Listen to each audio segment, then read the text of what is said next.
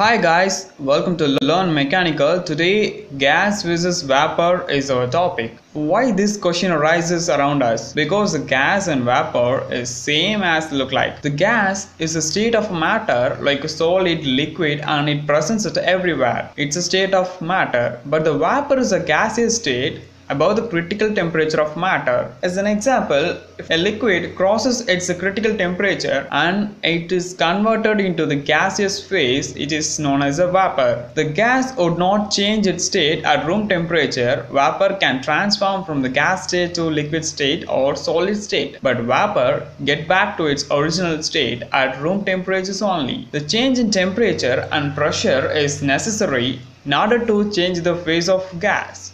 On the other hand, change in pressure is required for bringing back the vapor to the original state. Here the gas is present at all places except vacuum, but we cannot able to see them. But we able to see the vapors while cooking. We able to see the vapor by spraying the water on the hot plate. It is converted into the vapor and we can see it uh, naked eye. These are the simple difference between the gas and vapor and we will see again soon. Share with your friends. Subscribe to Learn Mechanical. Thank you.